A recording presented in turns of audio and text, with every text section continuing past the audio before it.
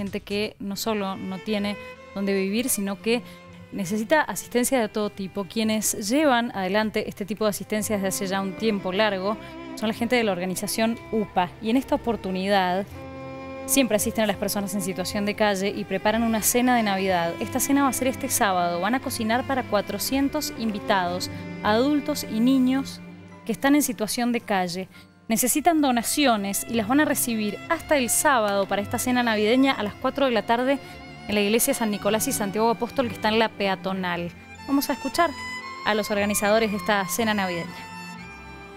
Ayer hicimos un poco de pizzas, que es lo que estábamos necesitando, eh, y ahora estamos preparando el picadillo para poder hacer las empanadas para el próximo sábado.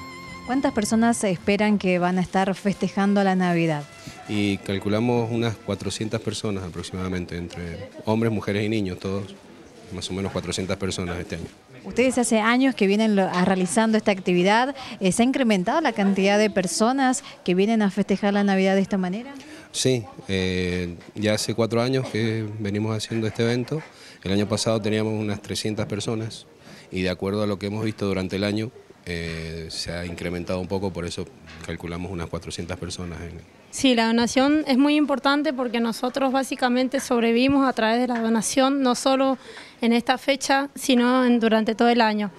Así que estamos pidiéndole a toda la comunidad de Mendoza que nos done sanguchitos, pizzas, empanadas, cosas saladas, cosas dulces, tartas, panes, bebidas no alcohólicas, así podemos eh, darle de comer a estas 400 personas.